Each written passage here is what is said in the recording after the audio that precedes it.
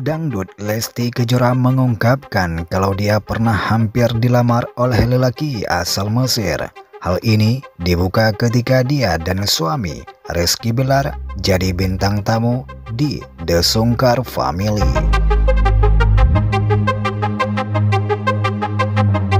Sebelum ke arah sana, Sharon Sungkar lebih dulu membahas hubungan Lesti Kejora dengan Rizky Bilar dia menilai pasangan tersebut cukup unik karena dijodohkan oleh para penggemar.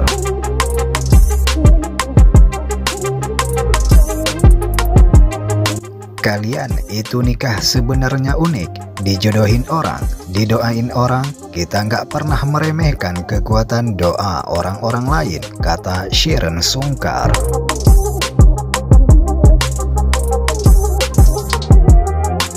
Baru setelah itu, Lesti Kejora mulai mengenang masa lalunya sebelum mengenal Rizky Bilar.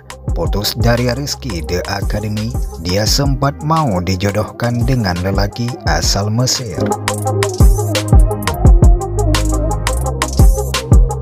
Dedek ceritain ada yang mau datang ke rumah Dedek.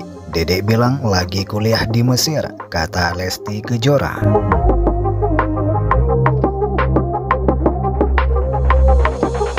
Rizky Bilar yang mendengar pengakuan sang istri pasang wajah bingung.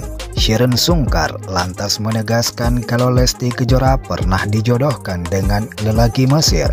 Sebelum sama Bilar, Dedek mau dijodohin sama orang Mesir, ujar Sharon Sungkar.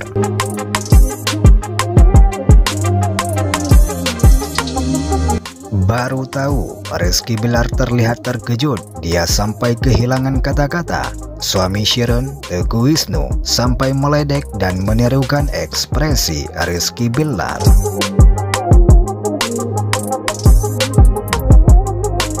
Ekspresi Rizky Bilar, aku kok baru tahu, kata Wisnu. Tapi itu cuma masa lalu Lesti Kejora. Kini dia sudah menikah dengan Rizky Bilar dan tengah menanti anak pertama mereka.